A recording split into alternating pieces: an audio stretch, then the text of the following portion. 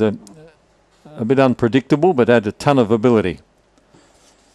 So they're being boxed away. This is race five. Favourite coming out of three. Lights on. Ready to go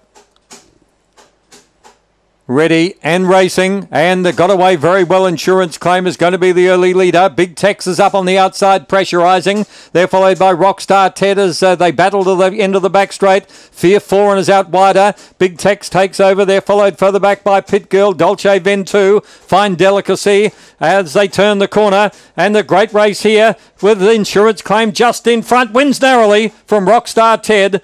Big Tex weakened into third. They're followed by Dolce Ventu. Further back on the field was Fine Delicacy, then Midnight Diamond.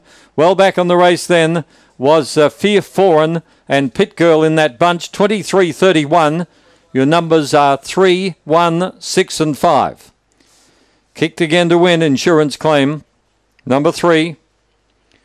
Second to 1, Rockstar Ted. And third, Big Tex, who had taken up the running uh, but uh, left a gap on the inside. Fourth home was number five, Dolce Ventu. 3165. Insurance claim is a blue brindle bitch by collision from Sammy's sister. It's raced by Deborah Stupos, trained by Graham Brown, and whelped in July of 14. First split 884, run home 1447.